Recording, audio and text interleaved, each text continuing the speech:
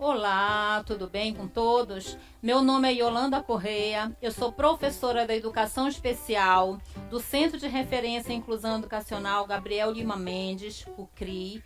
Hoje eu estou, estou na... no Núcleo de Atendimento Educacional Especializado, uma unidade localizada no Quinto dos Paricás.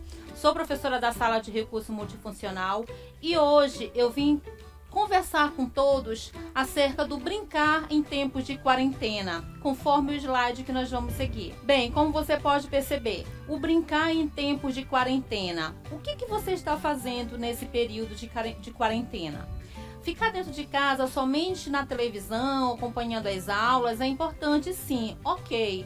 Mas ficar no celular não é muito saudável. Então, cá comigo, eu trouxe para vocês quatro atividades bem lúdicas, bem legais, para que você mesmo possa fazer dentro de casa com recurso de baixo custo. Serve tanto para você que está me assistindo, papai, mamãe, professor da sala de recurso, professor também de sala regular, e para você, criança de idade de 2 até 15 anos, você pode fazer. Chama teus primos, chama os teus colegas, chama o papai e a mamãe e vem aprender junto comigo, ok? Eu vou apresentar para vocês quatro recursos. O primeiro, vamos lá no slide? Aqui, ó. Jogos para você mesmo fazer.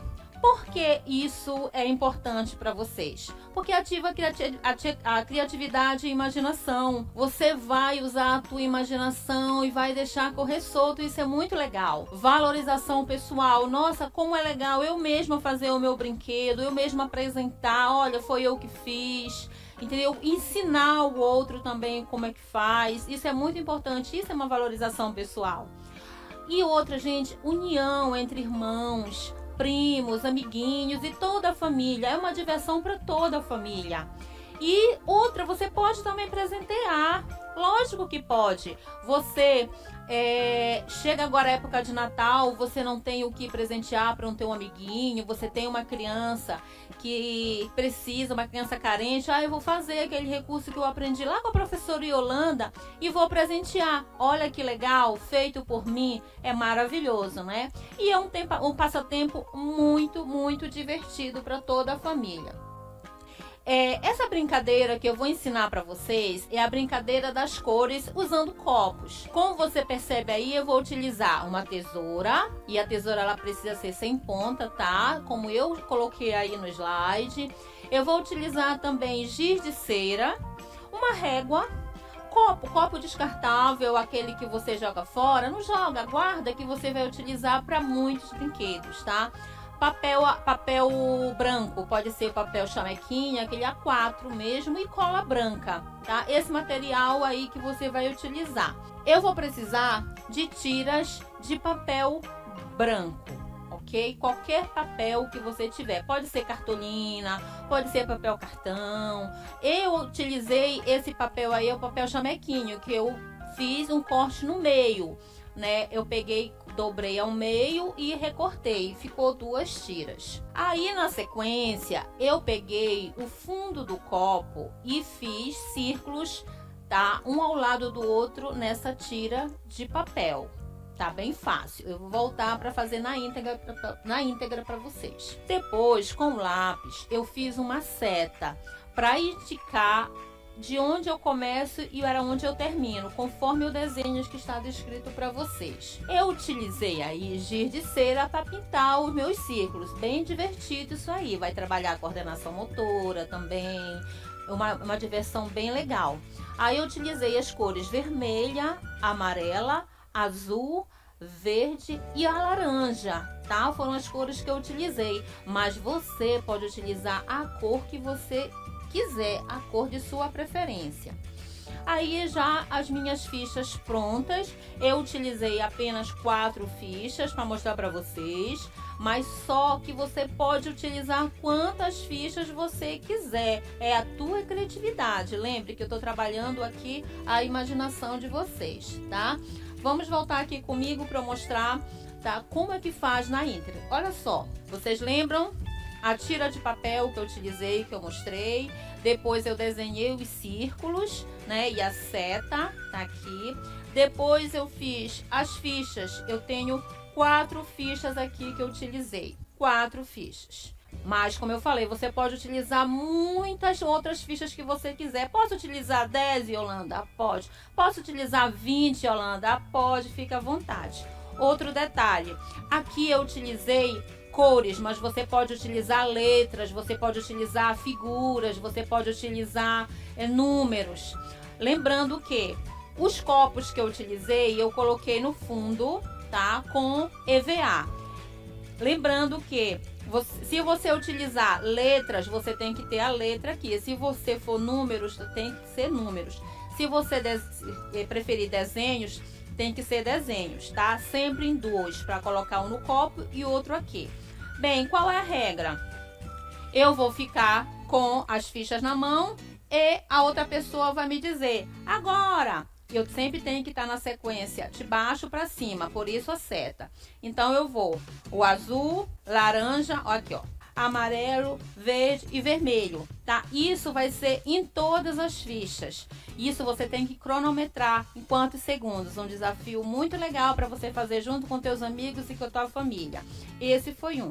O segundo é o jogo da memória, muito legal também. Eu posso utilizar aí o material que você também quiser. Eu utilizei uh, números, eu usei letras, eu usei figuras também. Então o que, que eu vou precisar? Papel cartão ou para cartolina ou aquela caixa de sapato que você não utiliza mais, você pode utilizar. Letras, números feito à mão, cola e tesouras. Eu utilizei aqui pedaço de papel branco em formato quadrado, né? Eu cortei com a minha tesourinha, né? E o resultado final saiu isso aqui. Volta aqui comigo, olha só. E eu utilizei aqui, ó, as, as fichas. Eu utilizei a letra A, eu utilizei uma figura, eu utilizei também coração e a regra é, você vai virar todas as fichas e com teu companheiro, com teu pai, com a tua mãe, você vai tirar para o ímpar, para ímpar. Quem ganhar sai primeiro e vai. Eu vou tirar o primeiro, aí eu vou tirar o segundo. Ah, errei, volta. Aí eu dou a vez para o meu colega. Aí ele vai tirar outra. Tirou? Ah, tirei a figura geométrica. Aí eu vou, errei, aí eu volto. O jogo vai até a pessoa tirar quantidades certas e maior do que o adversário, tá? É uma diversão para toda a família e o baixo custo. Você mesmo pode fazer na sua casa e é bem criativo. O, o, o outro recurso é esse aqui, olha só. Eu utilizei aquela forma de ovo que você joga fora, não joga fora mais não, porque isso aqui é muito legal de fazer. Eu utilizei, como aqui no slide, eu vou mostrar para vocês, caça códigos certos. Eu utilizei a forma de ovo, eu utilizei o papel cartão, a tesoura, cola branca e canetinhas esferográficas, tá? De várias cores. E o material pronto é esse aí. Olha só que legal. Eu posso também utilizar letras. Volte aqui comigo. Eu utilizei aqui letras, números alguns códigos também. Então eu tenho que fazer aqui, olha aqui, o verso. Eu fiz aqui, ó. Eu utilizei rodinhas de papel, tá? Rodinhas de papel comum. Eu utilizei também pedacinhos de papel, papel durinho. Eu utilizei papel cartão, mas você pode utilizar palito de, de picolé se você tiver. E você vai colocando nas extremidades, tá? As letras e você vai compondo aqui. Isso aqui para trabalhar com crianças autistas, com crianças com deficiência intelectual, déficit de atenção, é muito legal. Aí você vai, tá? E vai montando. Você vai dar todas as fichas para ela, que estão isso aqui, para ela montar. E ela vai buscar aonde que está o X, o T e o coração. Ah, tá aqui embaixo, tá? Aí você vai montando, tá? E você tem que fazer o seguinte, você sempre tem que colocar três a mais só para confundir letras que não estão aqui para ela na hora se perder. Um momento muito legal e lúdico para você aprender, ok? Então são recursos bem legais que você e a sua família pode, podem trabalhar e vai divertir toda a família, ok? Vamos voltar aqui ao slide. E o desafio dos copos. O desafio do co dos copos é muito legal. Eu vou mostrar para vocês. Eu vou mostrar para vocês como é que faz o desafio dos copos para você fazer junto com a tua família aí, ok? Você vai utilizar copos, copos descartáveis que você joga fora, você não joga mais fora. Agora você vai chamar teu amiguinho, o teu primo, a tua mãe, teu pai vai fazer esse desafio. O desafio é você tem que fazer três movimentos utilizando as tuas mãos. No final dos três movimentos, os três copos têm que estar com a boca para cima, ok? Vamos lá, eu vou ensinar uma vez para vocês. Primeiro movimento, um. Segundo movimento, dois. Terceiro movimento, três. As três bocas para cima, tá bom? Chama o teu amiguinho, faz aí com ele um desafio. É muito legal. Concentração, raciocínio lógico, é muito legal para fazer com toda a família, ok? Vamos ao slide. E aqui eu deixo uma reflexão para todos vocês. Não exclua ninguém. Todo mundo precisa ser acolhido. Essa foto que eu deixei aí para vocês, essa imagem, é justamente para mostrar que nós não devemos ter somente o nosso grupinho, de preferência. Nós precisamos acolher todos que estão ao nosso redor. As crianças, elas precisam dessa atenção. Nesse exemplo aí, eu estou trazendo uma criança que usa uma cadeira de rodas e ela está se sentindo excluída porque tem um grupo lá à frente que ela quer participar, mas o grupo não está nem aí para ela, está deixando a parte. Então, que nós não nós não fa façamos esse tipo de exemplo, ok? Aqui comigo.